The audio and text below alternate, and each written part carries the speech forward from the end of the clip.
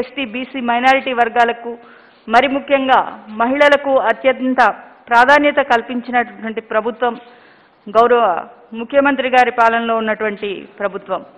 ఈరోజు ఎప్పుడూ కూడా అందనటువంటి మార్కెట్ యార్డ్ చైర్మన్లు కానివ్వండి లేదంటే ఆలయాల్లో కమిటీలు కానివ్వండి ట్రస్ట్ బోర్డ్స్లో కానివ్వండి ఈరోజు మాకు అవకాశాలు కల్పించినటువంటి ఘనత గౌరవ జగన్మోహన్ రెడ్డి గారికే దక్కుతుంది. ఎందుకంటే గతంలో ఎక్కడా కూడా రాజకీయ పరంగా ఈ విధమైనటువంటి అవకాశాలు కల్పించినటువంటి దాఖలాలు లేనటువంటి పరిస్థితి.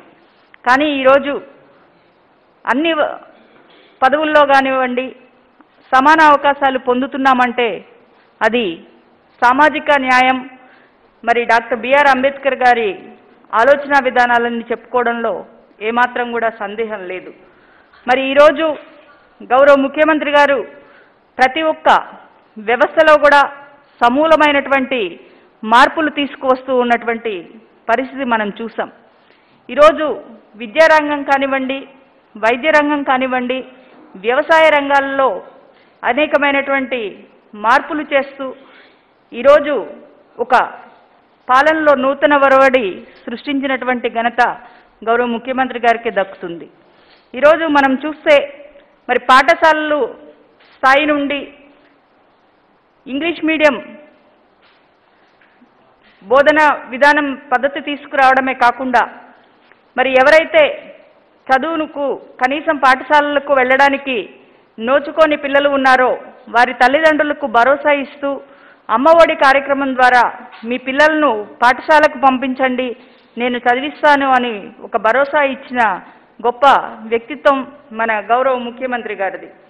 మరి అంతేకాకుండా అక్కడ పాఠశాలల్లో ఉన్నటువంటి మౌలిక సదుపాయాలు ఏవైతే ఉన్నాయో వాటన్నిటిలో కూడా మరి గతంలో ఎప్పుడు చూసినా ప్రభుత్వ పాఠశాలలంటే కనీసం అదనపు తరగతి గది కావాలన్నా కానీ లేదంటే ఒక టాయిలెట్ కావ కట్టించుకోవాలన్నా లేదా ఒక మంచినీటి సౌకర్యం ఏర్పాటు చేసుకోవాలన్నా అనేక ఇబ్బందులు పడేటువంటి పరిస్థితుల నుండి ఈరోజు నాడు నేడు కార్యక్రమంలో భాగంగా మరి పాఠశాలల రూపురేఖలను సమూలంగా మార్చినటువంటి ఘనత కూడా గౌరవ ముఖ్యమంత్రి గారికి దక్కుతుంది.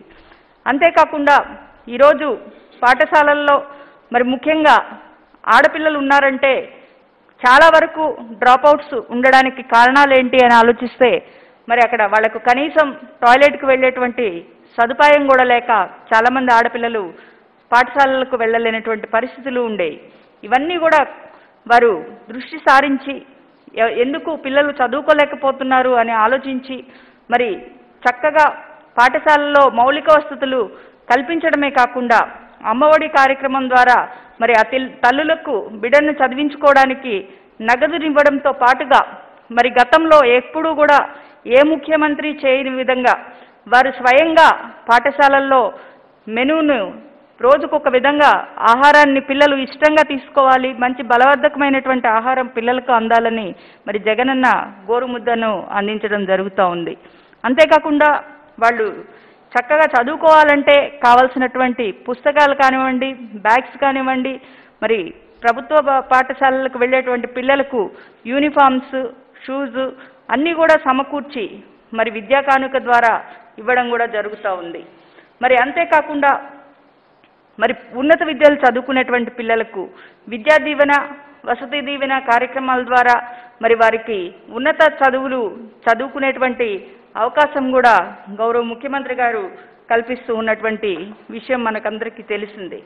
మరి అంతేకాకుండా అంగన్వాడీలలో ఉన్నటువంటి పిల్లలకు అదేవిధంగా గర్భిణీ స్త్రీలకు వైఎస్ఆర్ సంపూర్ణ పోషణ పోషణ కార్యక్రమాల ద్వారా ఆరోగ్యకరమైనటువంటి ఆహారం అందించడమే కాకుండా ఇప్పుడు అక్కడ మౌలిక సదుపాయాలు పెంపొందించి ప్రాథమిక విద్య అంటే మనకు కిండర్ గార్డెన్ అక్కడే పిల్లలకు చక్కగా ఇంగ్లీష్ మీడియంలో బోధించే విధానాన్ని కూడా తీసుకురాబోతా ఉన్నారు మన గౌరవ ముఖ్యమంత్రి గారు.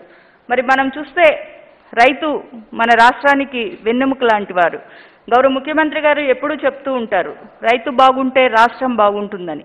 మరి ఈరోజు రైతులకు సంబంధించి రైతు భరోసా కార్యక్రమం కానివ్వండి మరి ఈరోజు గ్రామ సచివాలయాల్లో రైతు భరోసా కేంద్రాలలో మరి మనకు నాణ్యమైనటువంటి విత్తనాలు ఎరువులు అందించి మరి మంచి సూచనలు సలహాలు ఏ పంటలు పండించుకోవాలి అని తెలియజేసే విధానం దగ్గర నుండి మరి ఈరోజు రైతులకు సంబంధించి వాళ్ళకు పండించినటువంటి పంటలకు గిట్టుబాటు ధరలు కల్పించే వరకు కూడా ఈరోజు రైతు శ్రేయస్సు కోసం అహర్ అహర్నిశలు గౌరవ ముఖ్యమంత్రి గారు కష్టపడుతూ ఉన్నటువంటి విషయం.